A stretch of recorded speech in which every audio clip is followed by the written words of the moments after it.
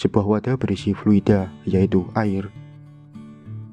Sebuah bola yang mengapung di permukaan air didorong ke dalam wadah.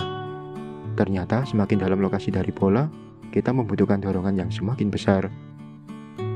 Mungkin saja pada kedalaman tertentu, kita sudah tidak mampu lagi mendorongnya lebih dalam. Artinya, di dalam air terdapat tekanan yang mendorong bola ke arah atas. Semakin dalam, tekanannya semakin besar. Dengan kata lain, setiap titik di dalam fluida memiliki nilai tekanan yang berbeda-beda bergantung pada kedalamannya. Tekanan ini dikenal sebagai tekanan hidrostatis. Tekanan hidrostatis dapat didefinisikan sebagai tekanan zat cair yang hanya disebabkan oleh beratnya sendiri.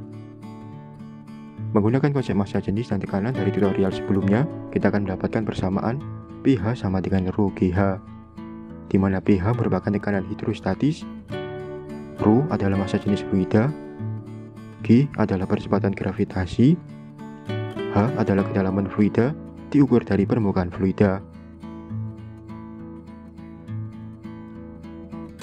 Salah satu penerapan dari konsep tekanan hidrostatis adalah desain dalam pembangunan bendungan.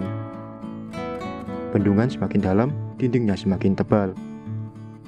Karena semakin dalam, maka tekanan di dalam fluida akan semakin besar. Jika tidak demikian, maka bendungan akan ambrol pada bagian bawahnya.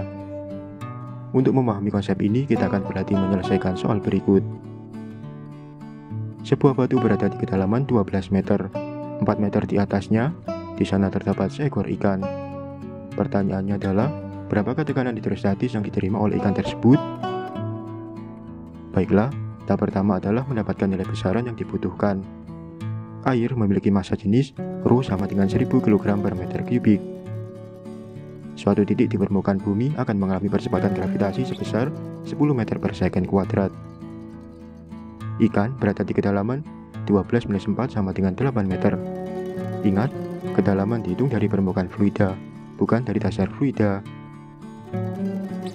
Sekarang kita bisa menghitung tekanan hidrostatis menggunakan persamaan P sama dengan Rho GH sama dengan 1000 dikali 10 dikali 8 sama dengan 80.000 Pascal. Inilah tekanan hidrostatis yang diterima oleh ikan. Yap, semoga tutorial ini dapat memberikan manfaat yang berguna dan jangan lupa untuk like, share, dan subscribe.